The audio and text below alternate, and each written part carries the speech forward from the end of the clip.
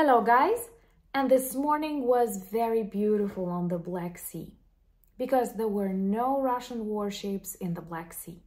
Not a single Russian warship in all the aquatorium of the Black Sea, just as it should be. What's the reason for this beautiful morning? Well, one more Russian warship was upgraded to a submarine and joined a huge, already a huge Russian underwater fleet of their warships that were designed differently. And today we are speaking about Sergey Kotov, who joined the majority early at dawn after the attack of five Ukrainian marine drones. And I'm specifically proud of these small drones that destroy $65 million warships. Let me tell you more in this video. My name is Anna and I vlog daily from Ukraine since the start of the brutal Russian invasion. So if you're new to the channel, you support Ukraine, please subscribe and help us fight against Russian propaganda, fake news and their warships in our waters. And my longtime friends, check your subscription status and hit notification button. In the morning, I'm reading beautiful news that tell me Black Sea does not have any Russian warships in it, and this is beautiful indeed. The sea has a good potential for tourism, recreation, trade, but definitely not as a military battlefield. And when Russia leaves it forever, either going backward to Federation or going downwards to the majority of its Black Sea fleet already that is underwater now, we will return normality back to the region. Anyway, Sergey Kotov is a $65 million Russian warship that started working only in 2022. It was also on the operation together with the famous warship Moskva next to the island Zmiyny or Snake Island as you know it, giving uh, an example to uh, the world of what Ukrainian resilience is and what Russian karma is because now uh, Sergey Kotov joined Moskva, just as it should be. Anyway, this is a very big warship that was used to guard Kerch Bridge. That's why I think sometime soon we will see Kerch Bridge on fire, because the main task of Sergey Kotov ship was to protect the aquatorium and uh, protect the bridge itself. Another warship is working from the Sea of Azov guaranteeing some uh, security to the bridge, but we already know it is just an illusion because even today this bridge did not work for more than 10 hours. People could not cross it on cars, railway and other things.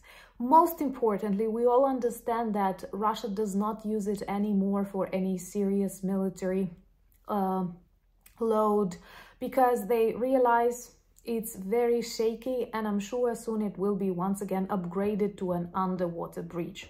Remember to subscribe if you're new to the channel, first of all, to demonstrate your solidarity with Ukraine and the democratic world, and secondly, to discuss in some near future this underwater bridge between Crimea and Russia. And uh, Sergey Kotov uh, was patrolling the waters. It also had a huge uh, supply of Avia um, petrol fuel because, attention, it had a helicopter on its board. So as a bonus for the work of five Ukrainian marine drones, we have a helicopter destroyed together with a big warship. We don't know. There are also rumors that an anti-air missile system might have been on board, but even if it was not there, the ship was designed and prepared to get one air defense system and now it will not. It will only need this anti-fish defense system or what? I don't know. By the way, in future, when Ukraine is victorious, we may start Discovery series or National Geographic series, What are Russian ships doing underwater? And I even know the title, Russian Warship, you know. Anyway, uh, this is good news and most importantly it was done by Ukrainian, just Ukrainian resources and creativity using five marine drones. And they soon will be able to target not just uh, sea uh, targets but hopefully also targets in the skies, in the air, and I think it will be a huge, huge uh, breakthrough. But at the moment, we celebrate the destruction of this warship, the destruction of the helicopter on its board, the destruction of the supplies it had on board, and also the absence of Russian warships that escaped, literally escaped the aquatorium of the Black Sea. And this is another beautiful message to those politicians all over the world who are still afraid of Russia. Look at what Ukrainians do and just, just repeat or at least uh, don't stop us from doing that. Anyway, I'm really grateful for the comment that we received from the a Minister of Defense from the United Kingdom who said just a couple of years an operation like that seemed unbelievable, but now we see the Black Sea is to great extent safe again and uh, we can trade in it, we can travel in it thanks to Ukrainian armed forces. And one more Russian myth is debunked. Their invincible uh, navy is now underwater navy. Anyway, uh, the more uh, you support us, you invest in our resilience and strength, the sooner the world will become a safer place, just as we demonstrate that with the aquatorium of the Black uh, Sea. and uh, karma always finds Russians. So finally, Moskva warship joined by Sergey Kotov and many, many, many more others.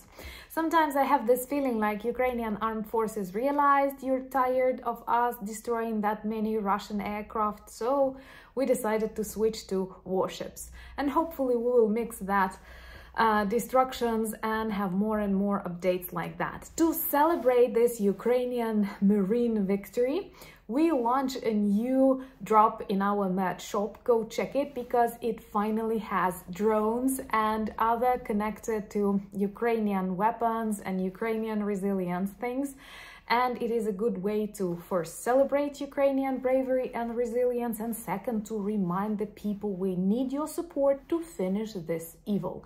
United we stand and the more news like that we receive the more confident I am that this victory is close to us. Thank you once again for buying me coffees, becoming my patrons. I greatly value your presence in my life. Join me on Instagram. I'm trying to show more of everyday Ukrainian life there.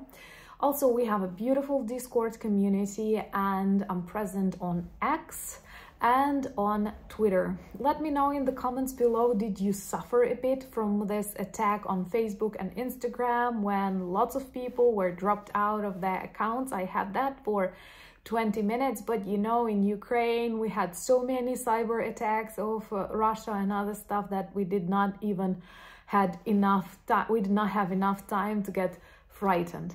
Anyway we live in a very turbulent time um, and as often we say in Ukraine we're a bit tired of living in a history book so hopefully soon we will finish this evil and start living normal boring life Thank you once again for being friends. If you're new to the channel, remember to subscribe. If you like the video, do like it. But most importantly, united we stand. Slava Ukraini!